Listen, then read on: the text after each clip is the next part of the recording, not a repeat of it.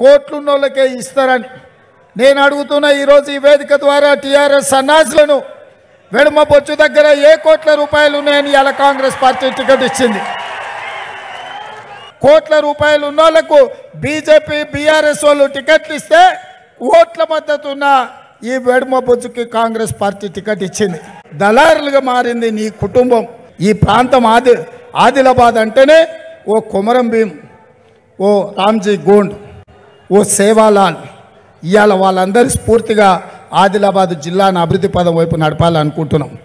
ఇరవై నాలుగు గంటలు నాణ్యమైన ఉచిత విద్యుత్ ఇచ్చే బాధ్యత కాంగ్రెస్ పార్టీ తీసుకుంటుంది. రైతుల్ని ఆదుకునే బాధ్యత కాంగ్రెస్ పార్టీ తీసుకుంటుంది. ప్రజల తెలంగాణ వస్తుంది. ఎడమ బొచ్చుని ఇక్కడి నుంచి ఎమ్మెల్యేగా గెలిపించండి.